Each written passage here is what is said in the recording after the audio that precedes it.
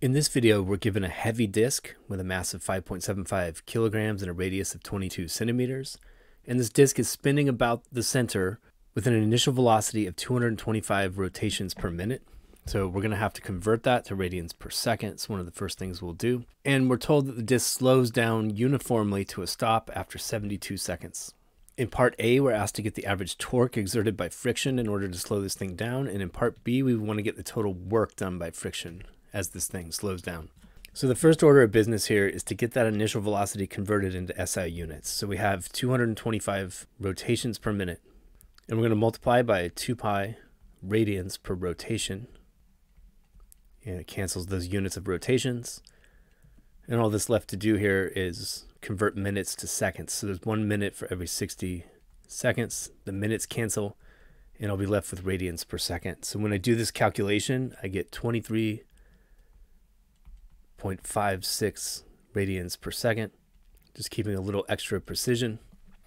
Now in part A, I want to get the average torque exerted by friction on the disk. And the strategy here is we're going to use the rotational equivalent of Newton's second law, tau equals I alpha torque equals moment of inertia times angular acceleration. And we can certainly compute the moment of inertia just using the standard geometric formula for the moment of inertia of a disk. And we can get the average angular acceleration by looking at the rate of change in the angular speed on average. So let's start with that moment of inertia. The formula for the moment of inertia of a disk is 1 half mr squared.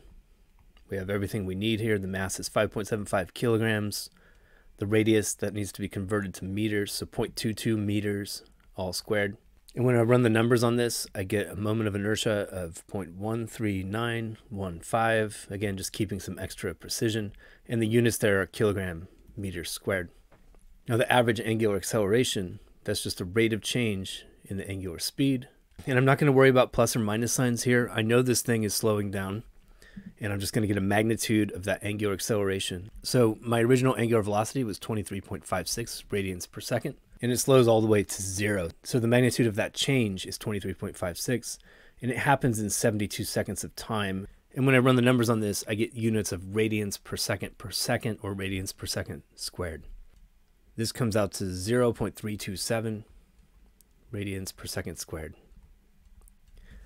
And so I go back and plug into my torque formula, the average torque is going to be I times the average angular acceleration. And when we put it in a calculator, we get a total of 0.0455. And my units deserve some discussion here.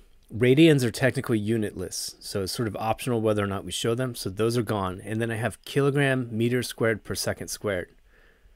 Well, a kilogram meter per second squared, that's a Newton. And that leaves me with a leftover factor of meters. So I get my familiar units of torque, 0.0455 Newton meters. Next, I want to get the total work done by friction.